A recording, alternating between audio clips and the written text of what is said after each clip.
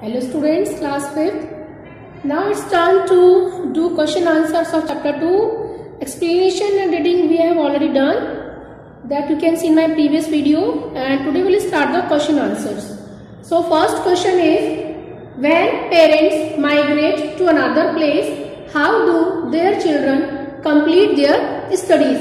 इसका मतलब है कि जब पेरेंट्स दूसरे प्लेस पर माइग्रेट करते हैं तो उनके बच्चे स्टडीज़ कैसे कंप्लीट करते हैं so answer When parents migrate to another place, the children stay with grandparents for studies and few students have to arrange for hostels or rental houses.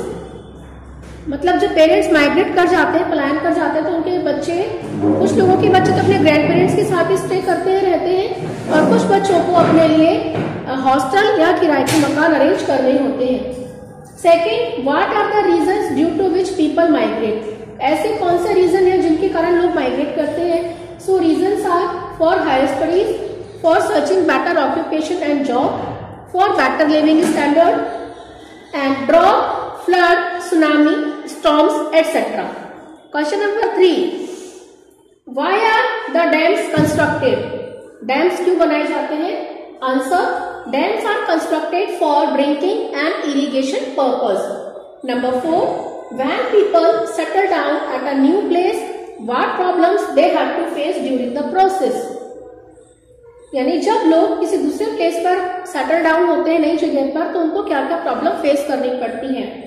Answer the problems are first arrangement of house second education of children third food and drinking water and fourth proper job as per ability next question number five what facilities और arrangements people have to make when they want to settle down at a new place जब लोग किसी दूसरे place पर नए place पर settle down होते हैं जाते हैं तो उनको क्या क्या अरेंजमेंट्स या फैसिलिटीज़ अरेंज करनी होती है When people want to settle down at a new place, they have to arrange proper job, food, water, house, and children education.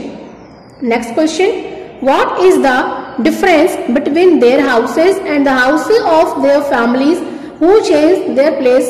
Continue. Continuously तो जो लोग, एक तो एक ही घर पे रहते हैं, एक ही जगह पर, और एक दूसरे जो बार बार अपने घर चेंज करते हैं तो दोनों के घरों में क्या डिफरेंस होता है? तो people who live in their house on house have bigger rooms वो लोग जो अपने खुद के घर में रहते हैं, उनके कमरे बड़े होते हैं। But people who change their living places, they live in rented house having smaller rooms. और जो लोग अपने घर चेंज करते हैं वो रेंटेड यानी किराए के घरों में रहते हैं जिनके कमरे छोटे होते हैं।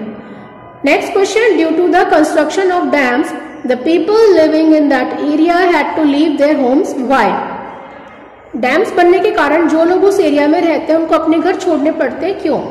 Because due to construction of dams those area become a low lying area क्योंकि डैम्स के कंस्ट्रक्शन के कारण वो एरिया लो लाइंग एरिया में कन्वर्ट हो जाते हैं, जिससे उन लोगों को उनके घर डूबने का खतरा रहता है।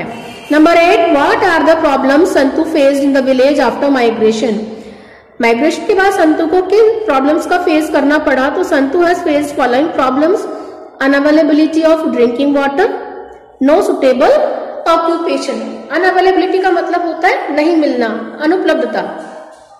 Next question is Is there any person in your family or vicinity who went out of his hometown or shifted in your area from some other place for his studies? क्या आपके एरिया में कोई ऐसी family है या जिन्होंने अपना home town change किया है और आपके एरिया में आए हैं स्टडीज़ के लिए yes my brother went to Jaipur for high education तो आपको कुछ ने बताया कि कोई भी ऐसा फैमिली मेंबर हो या आपके एरिया में कोई हो जिन्होंने अपना होम टाउन लीव करके और दूसरे एरिया में शिफ्ट हुआ है पढ़ाई के लिए। तो yes my brother went to Jaipur for education हाँ मेरा भैया जयपुर गए एजुकेशन के लिए।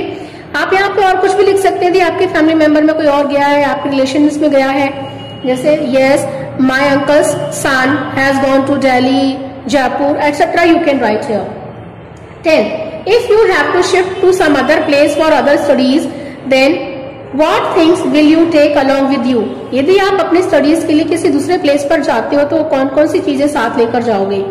तो we will take bedding books clothes, chair, table, utensils, stove, cylinder, birth certificate, Aadhaar card submittables etcetera इसके साथ बुक्स वगैरह है ये सब आ गई आपको जो भी चीज़ आप ले जाना चाहते हो वो आप इसमें ऐड कर सकते हो।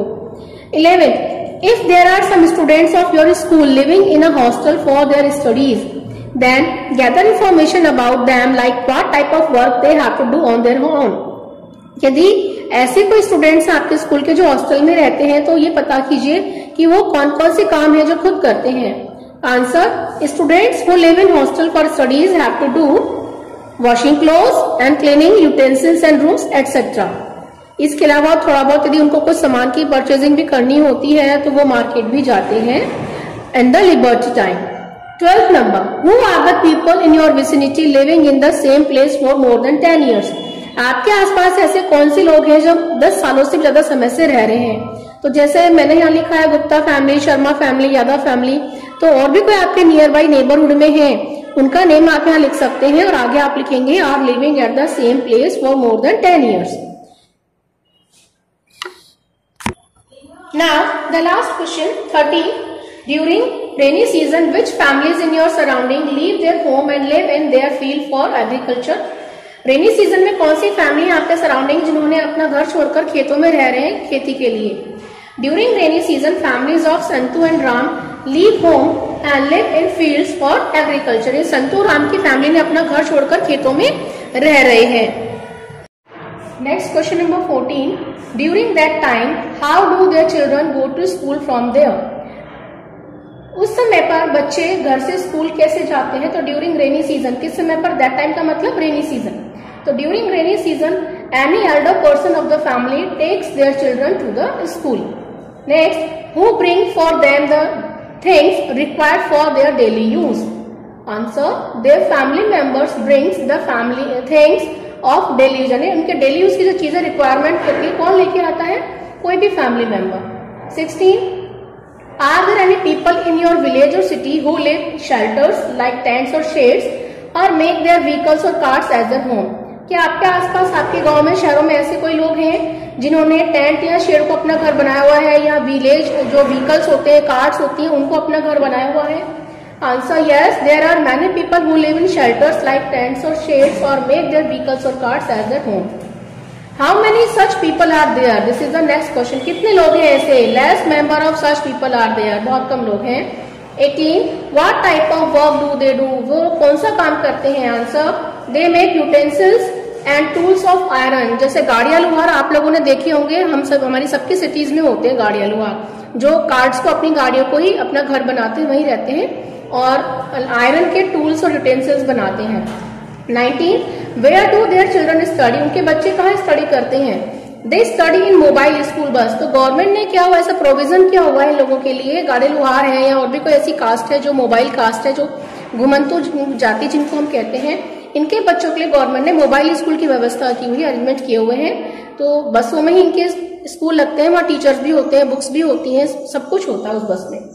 twenty what are the reason for the displacement of there people in लोगों के डिस्प्लेसमेंट का क्या कारण है तो answer natural disasters like flood drought poverty poverty means गरीबी एंड थर्ड इज अनएम्प्लॉयमेंट यानी बेरोजगारी so children these are the question answers of your chapter two that you can learn and write in your notebook